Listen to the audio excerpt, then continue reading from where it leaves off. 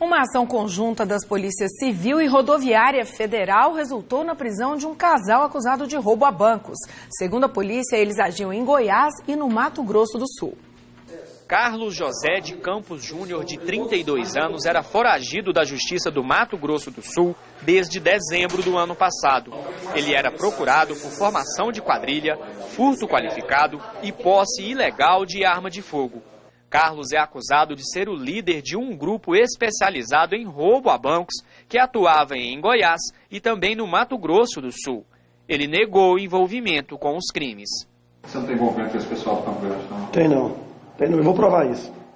A prisão aconteceu na casa dele, uma mansão em um condomínio de luxo em Goiânia. A polícia também prendeu Tainara Flor de Medeiros, de 26 anos, esposa de Carlos.